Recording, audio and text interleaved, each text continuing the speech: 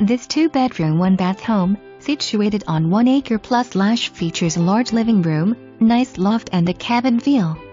A wraparound porch and large storage shed add to the outdoor possibilities of this home.